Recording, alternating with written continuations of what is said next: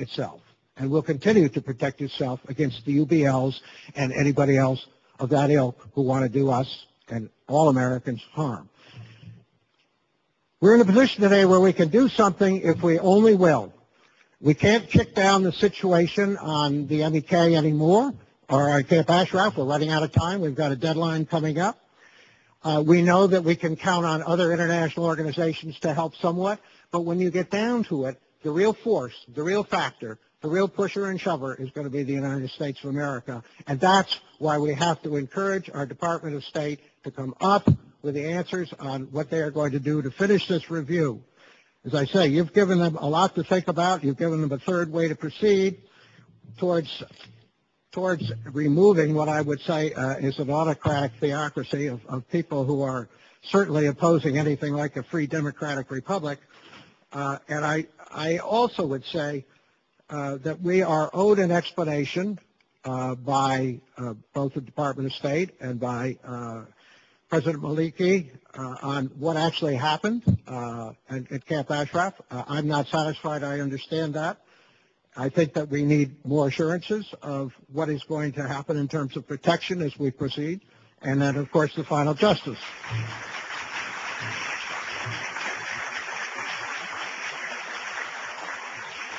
Who leads us to the relocation?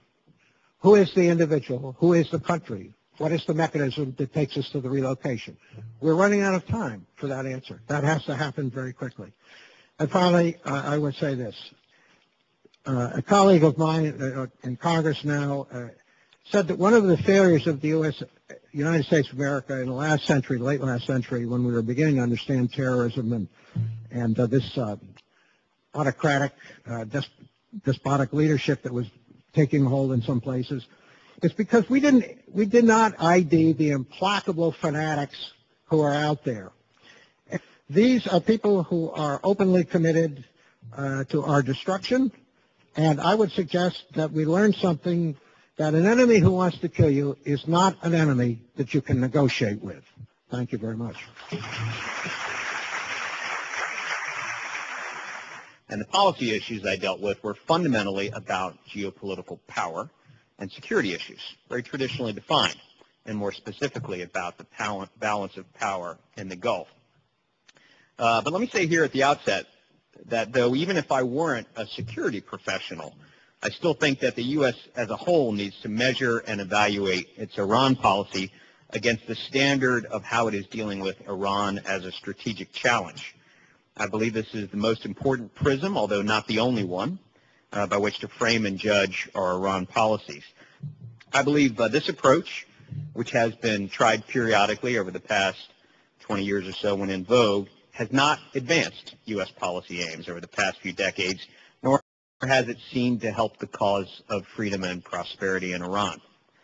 Now, this is not to say that Iran is just a security problem for the U.S. with military solutions. The relationship, the region, and what is at stake is far too complex for that. However, I put small hope in traditional diplomatic engagement or outreach to this Iranian regime.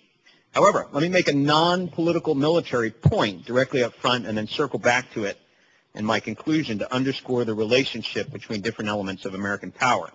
And here's the point. There is nothing that is likely to be more decisive and more influential in reducing the strategic threats from Iran's current regime than having a vigorous democratic opposition within Iran.